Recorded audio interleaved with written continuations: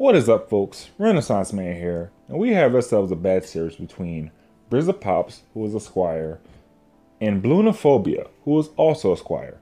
So please sit back, relax, grab your phones, grab your dart monkeys, grab your favorite pillows, and let's watch some bloons. So we have the start, of course, round one. They both start with a farm, as usual, as per usual in Mobile King of the Hill. Um, so I've played, me personally, I've played. Actually, have I played these two? I'm actually not sure if I played. I think I've played them at least once, and if I had to guess on who gave me the most challenge, I don't know. I mean, at this point, everybody in Mobile King of the Hill just plays the same consistently, like decent. You know, like when you play one Mobile King of the Hill player, you of play them all. There are some outliers. You know, when you get to nobles, they typically are pretty good. Like they are, they make the least amount of mistakes.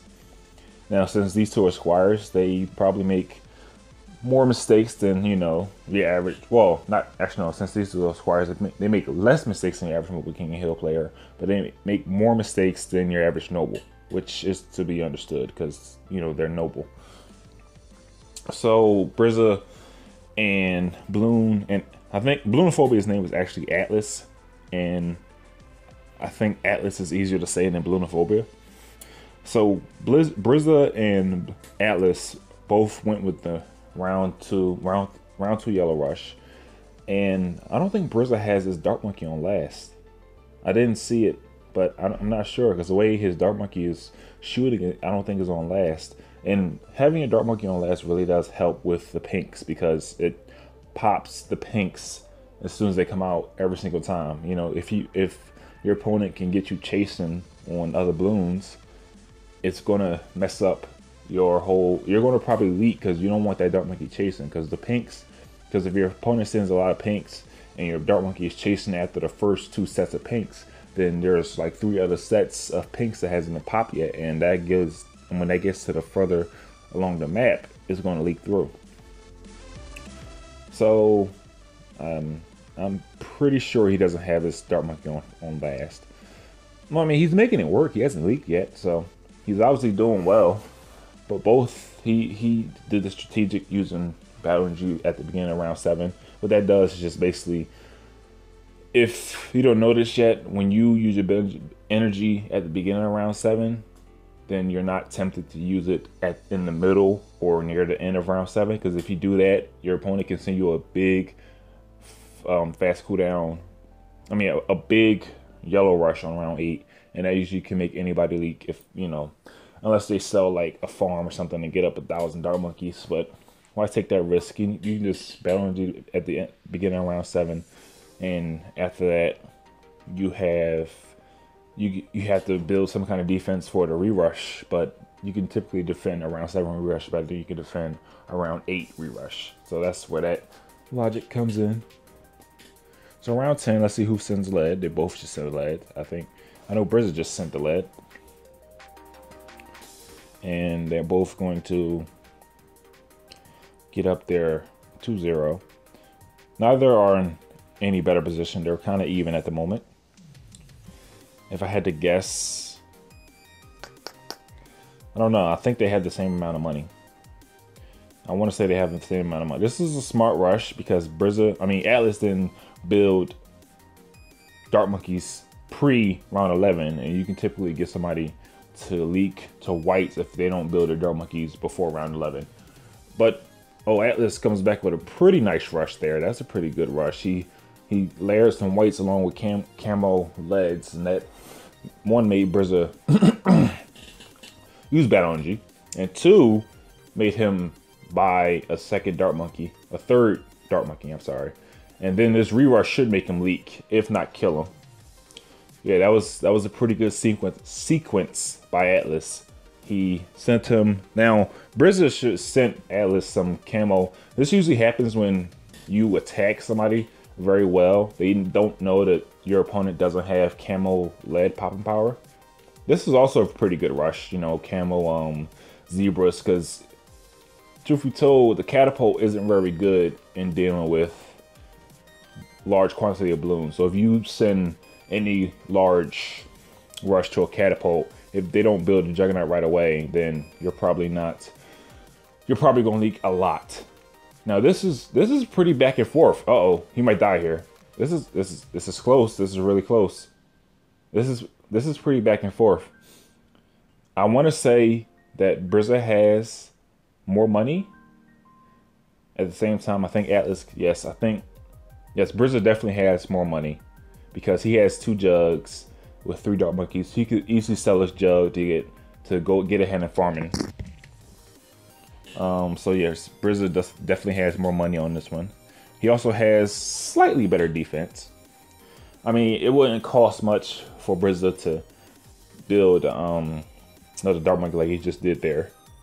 So he has better defense along with having more money.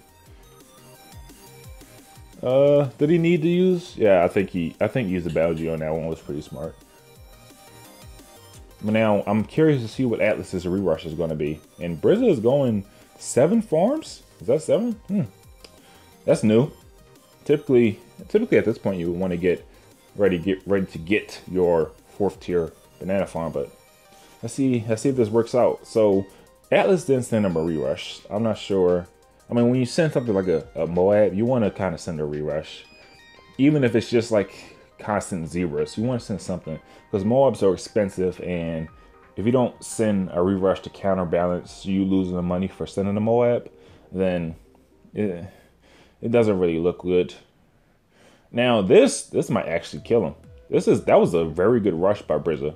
That was a very good rush. This this could actually kill him if he doesn't play his cards right and it killed him. That was that was a pretty good rush. That was he. If you didn't see the rush, it was um, a Moabs followed by ceramics. Which, if you if you attack one Juggernaut with ceramics on steps, you you pretty much can get get a few by. He sent about good four or five ceramics there, plus the Moab. So so the monkeys got distracted by the ceramics, and then Moab was just able to walk free. I think. I think uh, I gotta go back. I'm not sure, but I think that Atlas could have used Battle Energy a little earlier on that one. But at the same time, he, he probably didn't want to risk it. Although he did have an extra farm, so he probably could use Battle Energy and still had enough money to get up maybe a fan club or something without having to sell his fourth tier. So it was just a good sequence by Brizza.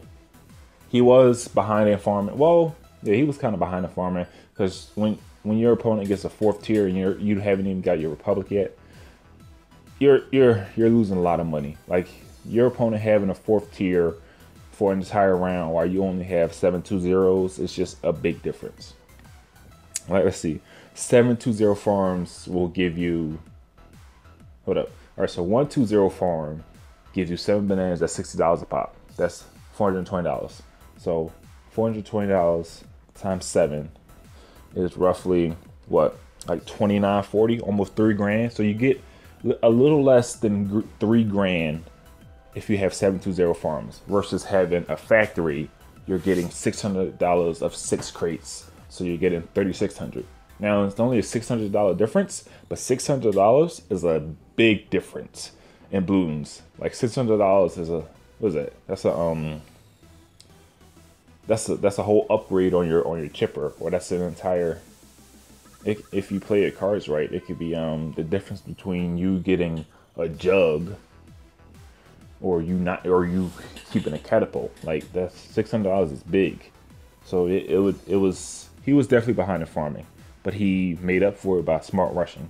You know, if you if you're behind in farming and you know how to rush to get your opponent to you know, because uh, typically if you're behind a farm, that means your your opponent is being greedier than you. So if you have smart rushes to force your opponent to not be as greedy, you're gonna you're gonna do well. You're you're not going to lose that much if you know how to rush well. Now there are some opponents who are just really good at defending.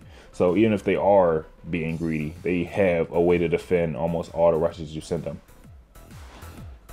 that's those are the opponents that gets kind of annoying, but at the same time, It's just some players in Mobile King Hill are just that good. They they can be greedy and defend most of your rushes at the same time.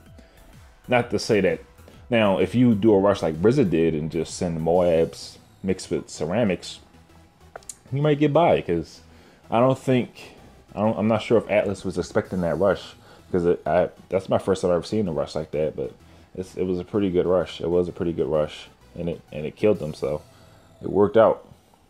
But now we're on Yellow Brick Road, and Brizza is easing on down the road with the life advantage.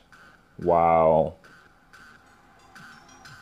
I guess they're they're same in farms, so they have the same farms, and he has the life advantage, so he's in a good position. What is this? Oh, I'm sorry. Stop. Stop. I'm sorry. I'm sorry. He has the life advantage, and he's sending him around 11 rush.